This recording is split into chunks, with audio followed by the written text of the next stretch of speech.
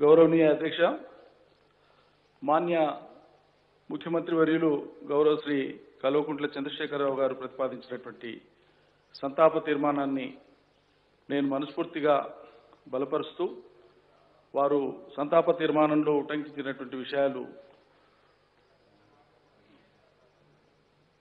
చాలా స్పష్టంగా ఉన్నాయి.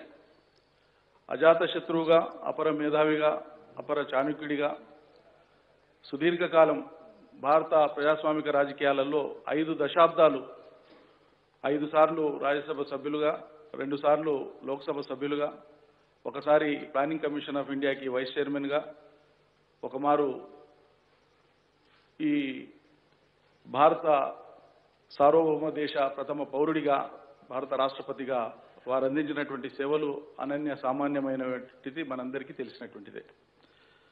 ముఖ్యంగా తెలంగాణ సమాజానికి తెలంగాణ ఉద్యమానికి గౌరవ ముఖ్యమంత్రి శ్రీ కేసీఆర్ గారికి ప్రణబ్ ముఖర్జీ గారితో ఉండేటువంటి అనుబంధం అది తెలంగాణ సమాజం ఎల్లప్పటికీ కూడా గుర్తుపెట్టుకునేటువంటిది చిరస్మరణీయమైనటువంటిది. కారణం ఏంటంటే స్వాతంత్ర్యానంతరం ఈ దేశంలో జరిగినటువంటి అనేక రకాల ప్రజా అంశాల వెల్లడి కోసం లేదా అభిప్రాయ వెల్లడి కోసం ప్రజలు వివిధ రూపాల్లో సాగించినటువంటి అనేక ప్రాంతాల్లో సాగించినటువంటి అనేక రకాల ఉద్యమాలు. ప్రజాస్వామ్య ఉద్యమాలు కావచ్చు ఆందోళనకరంగా సాగిన ఉద్యమాలు కావచ్చు హింసాత్మకమైన ఘటనలు కావచ్చు. అస్సాంలో మొదలు పెడితే డార్జిలింగ్లో ఆయన సొంత రాష్ట్రంలో మొదలు పెడితే పక్కల జార్ఖండ్లో ఉంటే ఆ తదుపరి ఇతర రాష్ట్రాల్లో ఉంటే చివరికి తెలంగాణలో. ఇట్లా ఒక్కొక్క రాష్ట్రంలో ఒక్కో రకమైనటువంటి ప్రజాభిప్రాయము వివిధ రూపాల్లో వెల్లడవుతున్నటువంటి సందర్భాల్లో ఈ దేశంలో పెళ్ళుబుకినటువంటి అనేకానేక సాంఘిక రాజకీయ ఉద్యమాలన్నీ ప్రజా ఉద్యమాలన్నింటికీ వారు సాక్షిభూతం. ఈ అంశాలన్నింటినీ కూడా అత్యంత చాకచక్యంగా పరిష్కరించడంలో అభిప్రాయాలకు ఉండేటువంటి ప్రజా పునాది ఏమి? వెల్లువెత్తుతున్నటువంటి ఈ నిరసనలకు ఉన్నటువంటి గరిమ ఏమి? ప్రాతిపదిక ఏమి? వాటి మీద కూలంకుషంగా అధ్యయనం అధ్యయనం చేసి పరిష్కరిస్తేనే దేశ ప్రజాస్వామ్యం అనేటువంటిది బలపడుతుంది తప్ప అణిచివేత ద్వారా కాదు అని చాలా బలంగా నమ్మినటువంటి అపర రాజకీయ మేధావి వారు.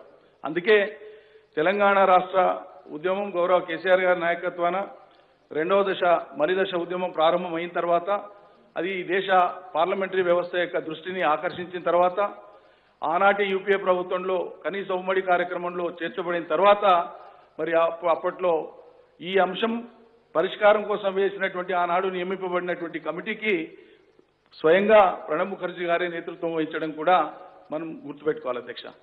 వారు అనేక సందర్భాల్లో ఆనాడు యూపీఏ మొదటి ప్రభుత్వంలో గౌరవ కేసీఆర్ గారు ముఖ్యమంత్రి గారు ఆనాడు కేంద్ర మంత్రిగా ఉన్నారు. మంత్రివర్గం ఏర్పాటు జరిగినప్పుడు ఆనాడు కోalition గవర్నమెంట్ ఆ కోalition గవర్నమెంట్లో నౌకాయాన శాఖ కేటాయిస్తే ఇతర రాష్ట్రానికి సంబంధించినటువంటి తమిళనాడు రాష్ట్రానికి సంబంధించినటువంటి ఆ పార్టీ కోalitionలో భాగస్వామిగా మాకు కావాలని డిమాండ్ చేస్తే ఆ ప్రభుత్వానికి కించిత్ అసౌకర్యం కలగవద్దు. మా ప్రాధాన్యత తెలంగాణ రాష్ట్ర ఏర్పాటు తప్ప పోర్ట్ఫోలియోనో శాఖనో మంత్రి పదవి కాదు అని చెప్పి ఒక ఐదు నిమిషాలు కూడా ఆలస్యం చేయకుండా ఆ శాఖను వారికి కేటాయించేటట్లుగా సహకరించినటువంటి ఘనత మాన్య ముఖ్యమంత్రి వర్యులది ఆనాడు. అదేవిధంగా వివిధ సందర్భాలలో అంశాన్ని ఆనాటి యూపీఏ ప్రభుత్వం ఇచ్చినటువంటి మాటను నిలబెట్టుకునేటువంటి దిశగా చేపట్టవలసినటువంటి చర్యలకు అనుగుణంగా ముఖ్యమంత్రి గారే స్వయంగా ఆనాడు ఉద్యమ నేతగా ఈ ప్రాంత బిడ్డగా అనేక సూచనలు సలహాలు ఏ రకంగా అయితే ఈ సమస్యను పరిష్కరించవచ్చు అనేటువంటిది తనకుండేటువంటి ఉద్యమ ప్రస్థానం నుంచి ఉద్యమ గమనంలో వచ్చినటువంటి అనేకానేక అనుభవాలను స్వయంగా కీర్తిశేషులు ప్రణబ్ ముఖర్జీ గారితో పంచుకోవడం అనేటువంటిది ఎన్నో సందర్భాల్లో మేము కూడా స్వయంగా ముఖ్యమంత్రి గారితో పాటు వెళ్ళడం అనేటువంటిది జీవితంలో మాకు కూడా మర్చిపోలేనటువంటి ఒక అనుభూతిగా ఉంటుంది అధ్యక్ష. వెళ్ళిన ప్రతిసారి వారితో మాట్లాడిన ప్రతిసారి మళ్ళీ నూతన ఉత్తేజంతో గౌరవ ముఖ్యమంత్రి గారు బయటకు వచ్చేది. కొండంత ఆశ్వాసం కొండంత ఆత్మవిశ్వాసంతో బయటికి వచ్చేది. వారు ఇచ్చేటువంటి స్ఫూర్తి అటువంటిది. వారు చెప్తూ ఉండేది. ఇది చాలా జటిలమైనటువంటి అంశంగా చిత్రీకరించబడ్డది ఈ దేశంలో.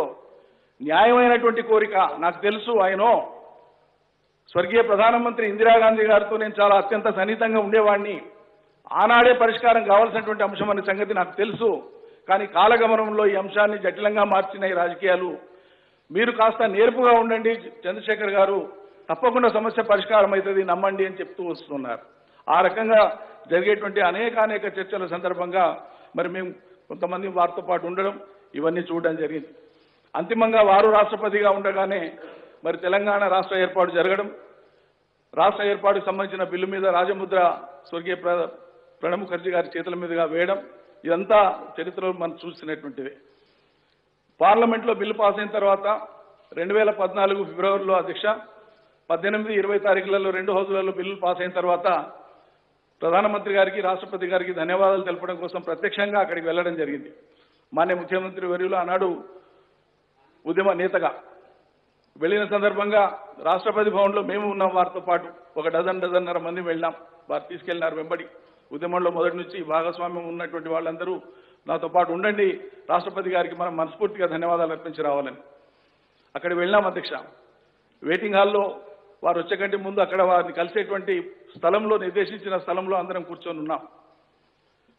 వారు రావడం రావడంతోనే మాన్య ముఖ్యమంత్రి వర్యుల్ని దగ్గరికి తీసుకొని కౌగలించుకొని వారి భాష చెప్తున్నాను అధ్యక్ష Chandrasekhar you did it you did it it is something great that a person during his lifetime achieving a goal during his lifetime is something great that you have achieved these are the words used by Pranab Mukherjee garu అధ్యక్ష